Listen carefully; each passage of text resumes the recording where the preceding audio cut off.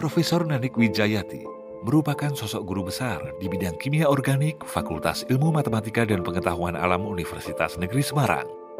Dosen kimia yang akrab disapa Profesor Nanik ini lahir di Kabupaten Blora 52 tahun silam dari pasangan almarhum Bapak Sudiman dan Ibu Supatmi.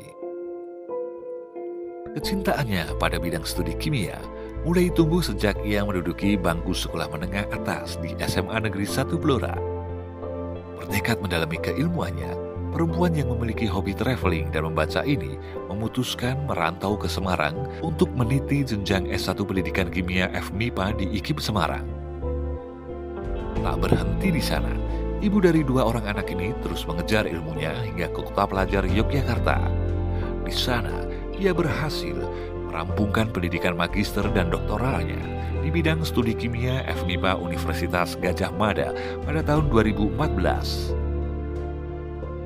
Mengawali karirnya, ia menjadi guru SMF Yayasan Farmasi Semarang pada tahun 1993. Tiga tahun kemudian, pada tahun 1996, ia mulai mengajar di jurusan kimia FMIPA UNES hingga sekarang.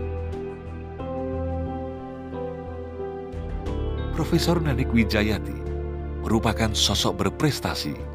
Terbukti, ia selalu menjadi juara kelas dan menjadi wisudawan terbaik ia juga pernah didaulat sebagai pemakalah terbaik hasil-hasil penelitian, memperoleh dikti DRPM pada tahun 2006 dan menjadi akademik leader berprestasi satu UNES pada tahun 2017.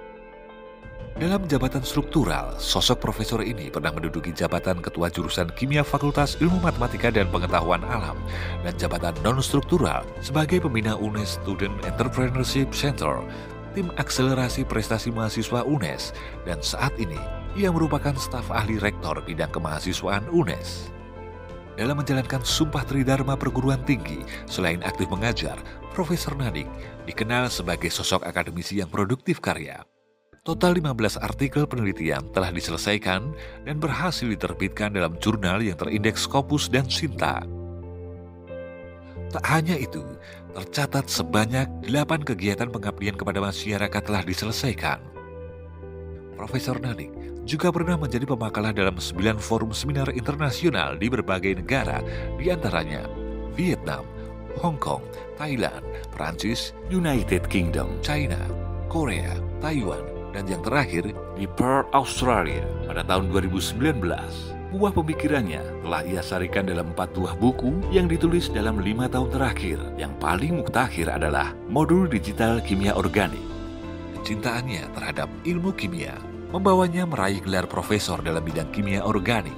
Penelitiannya berfokus pada isolasi dan derivatisasi minyak atsiri, khususnya minyak terpentin yang berguna untuk bahan baku industri kosmetik, minyak cat, industri perekat, dan pelarut lilin industri kimia dan farmasi.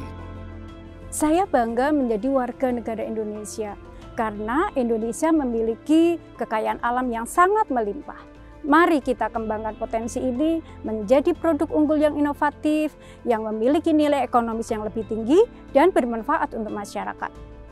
Baginya, ilmu kimia organik bukan sekadar ilmu pengetahuan semata, melainkan ilmu untuk memaknai dan mempelajari kehidupan kimia organik menjadi bagian yang tidak dapat dipisahkan dari kehidupan sehari-hari.